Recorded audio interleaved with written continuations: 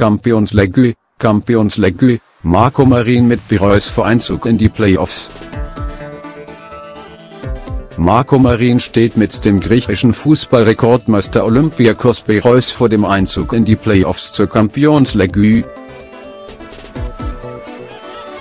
Der frühere Bundesligaspieler Marco Marin steht mit dem griechischen Fußballrekordmeister Olympiakos Piraeus vor dem Einzug in die Playoffs zur Champions League.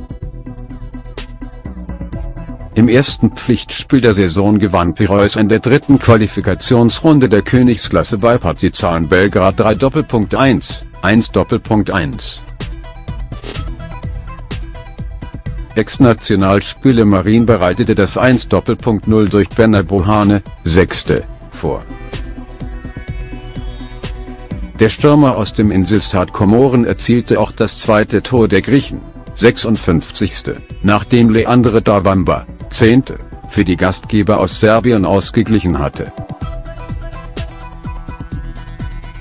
Emanuel Emanike, 90 Punkt plus 1 sorgte für eine glänzende Ausgangsposition für das Rückspiel am kommenden Mittwoch.